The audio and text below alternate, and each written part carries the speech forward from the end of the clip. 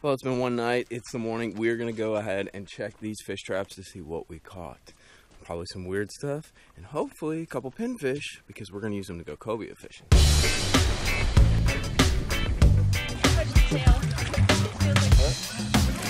Oh my god, look at them all. Oh, I see something in there. Bunch of grass and no bueno. Wrong kind of fish in the trap. It's one bait. What are those kinds of fish? Just all Uh, a lot of those were grunts, actually. Okay, so that's failure on fish trap number one, but we're gonna go check our other one. Maybe we got a little more lucky. But we did get some reef fish. There's a bunch of grunts and uh, some other kind of like weird bait fish in there. There's the other trap. So you're gonna turn the idle off on a boat so the boat's not moving forward. He uses the gas, grabs it just like that, gets a handful of grass. Ooh. Oh, now that's what a fish trap should look like. Be careful for you're sticking your hands in your pinfish trap. Oh yes.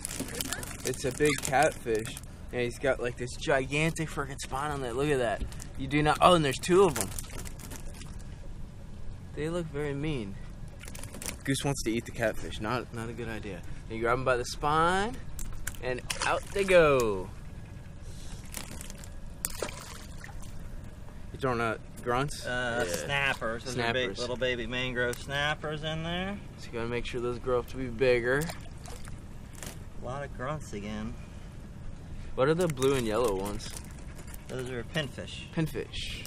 Oh, so that's what we were going after. Yes, that's Awesome. what we're going after. Still not a lot, so we're going to go Get. borrow some from a friend of mine. Ooh. He says he's got a trap that's full of pinfish. Ah, it's good to have good friends, right?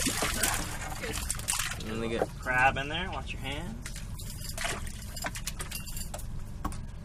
So that's how those fish traps work. You use a bunch of chum, it draws in all these reef fish and all these crazy fish. They come in, and then you just leave it out overnight, and then you can go collect your stuff. But watch out for those catfish. They got giant spines. They would hurt.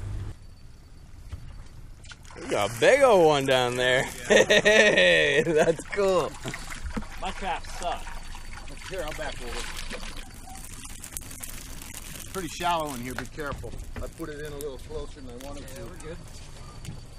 Jesus. Turtle. Good. A little baby turtle Oh, it's a crab. Turtle? kidding. is a crab. My eyeballs don't work. We know this. You need to work on your eyeballs. Uh oh, we got another catfish. No, this is some goofy. Heck, these things are. I don't like them though. Uh, oh, it's one of those lizard fish, isn't it? Oh, there is a crab in there. Those feel good when you grab, grab a hold of them. Ah, see you Bye-bye. later. He's out. Alright, the rest is going in his bait. Oh, Ow. that's stuck. Oh, Terry, a guy's cobia fillet. Not bad, man. That's a fair trade, right? We got bait. Welcome back to Mikeybalzz Fishing. We're out here chasing cobia and snapper. I think mangrove snapper? Mangrove snapper on basically what are wrecks like 30 miles, 40 miles, 50 miles offshore. Crazy distances, so it's kind of spooky. But we are going to see if we can't drag some of these hookup jigs as well as these like modified Carolina rigs with pinfish, like we call it in the fish trap, on the bottom, kind of like this. You can see there's barracuda swimming around, and uh, pick up a couple. It should be an interesting experience. Once again, getting outside the comfort zone and learning completely new things. As usual, make sure to like and subscribe if you like catching cook videos. If you like catching big fish, because that is kind of what we're chasing today. Because I like big fish. Make sure you like and subscribe and turn on notifications, dude, so you don't miss these videos. Right? Mikeybalzz Fishing. You gotta, you gotta love it. All right, let's see what we can do.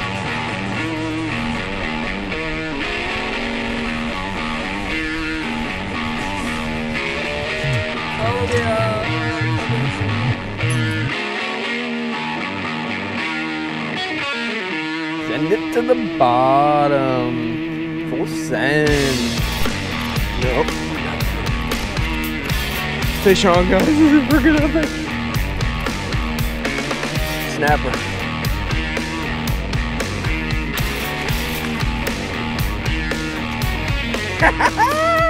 All right, guys, we got we got ourselves a freaking big old mangrove. It's not as big as Valve, but Do you have to grab these in any special way?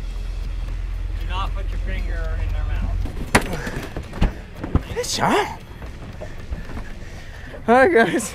Breaking the ice mangrove, throwing pinfish down on the bottom on basically what's a Carolina rig. I feel like I'm fishing offshore. I got on my deep stuff. I like big fish. All right, here's what we're gonna do, guys. We got this pinfish right here. Go circle it. and go right through the nose. Just like that. And drop them in like that. And then when Val tells us to drop what you just did, you're gonna open your bail and that thing's gonna go to the bottom. We're in like 50 to 70 feet of water right here. There's barracudas swimming around looking at our bait, but you wanna get it down to the bottom. And then once your line kind of goes slack because you hit the bottom, you're gonna go ahead and you're gonna close the bail. So we just hit bottom right there. I'm gonna go ahead and I'm gonna close the bail and you're just feeling for bumps. Look at that barracuda.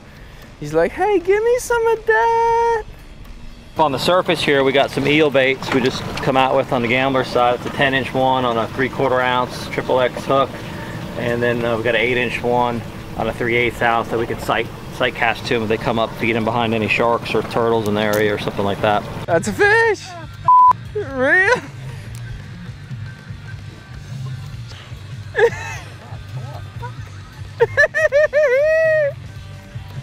she got a giant.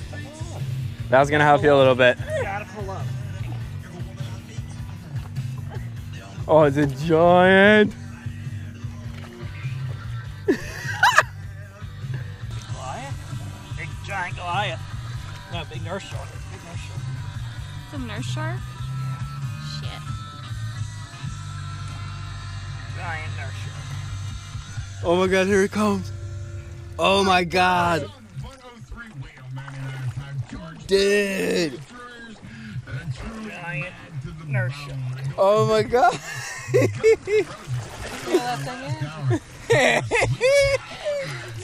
oh my god. No. Yes, but no. Yeah, get in there. Put your hand in his mouth. Quick, quick, quick. Put your hand in his mouth. I touched the tail. Feels like sandpaper. Damn. Uh, what do you want? Like something to snip it? You take advantage of their 10% off for new customers sales promotion. For more info, visit them online at shieldpestcontrol.net. That's shieldpestcontrol.net and get your free estimate today. You is the first step toward a healthy baby. Planning a pregnancy, baby steps toward better health can deliver big results. Exercising regularly and eating a balanced go. reach or maintain a healthy That was cool. increase the likelihood Can't believe you couldn't reel that in. of taking folic acid every day help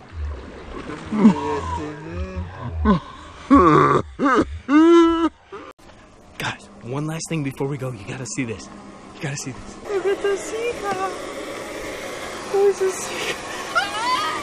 It's like a goose. Oh, sea cow. Oh, sea cow.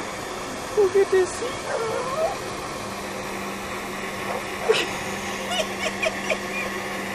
Oh my god, no way.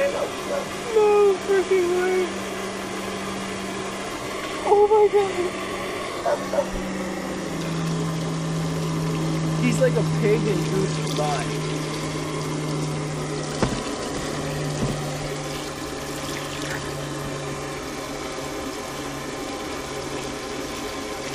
Why are they so obsessed with fresh water?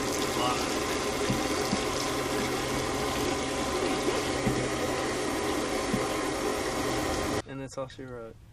Sea cow life. Mosing on alone. In our next episode of Mikeybalzz Fishing, we take on a sea cow as a pet.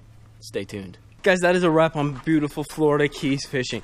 You know what? Getting outside your comfort zone, learning new things. We learned about snapper, two different kinds the mutton snapper as well as the, I think it's the mangrove snapper. And then yellowtails too, dude. And we learned how to cook them and eat them too, which is probably the most fun part about this trip. Got stung by a jellyfish, like a few of them. Thank God they were like tiny, otherwise it would have been absurdly painful. It was like painful for like 25, 30 minutes, but it would have been a lot worse. But outside your comfort zone. You learn about new fish. You learn about different behaviors of fish. We know how to fish some wrecks. We know how to fish some, let's see, like yellowtail that are suspended off of ledges, off of reefs.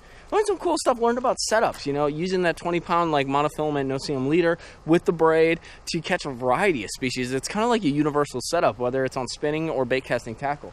Super cool to learn. I love learning about fish and how they behave and how they eat because I want to catch more, and that's really the key to doing it. So I hope you guys enjoyed this video. Make sure to like and subscribe. I don't know if we'll be back in the Keys for a very long time, but it was a cool opportunity, and that's why we took advantage of it. And uh, everything is lovely. Everybody's really chill down here. They're all just like, yeah. Everybody drives 25 miles an hour. It's like super duper chill. But I hope you enjoyed the video. Make sure you guys throw a like down there and tell me some things you want to go see or some maybe tell me what you're uncomfortable with like fishing and things that you want to go and learn. Throw that down in the comments box. I'd like to see because I wonder if some of the things are the same things I'm a little like afraid of or apprehensive about when it comes to fishing. Things that I need to approach and try out. But tight lines guys, I always love hanging out with you and peace.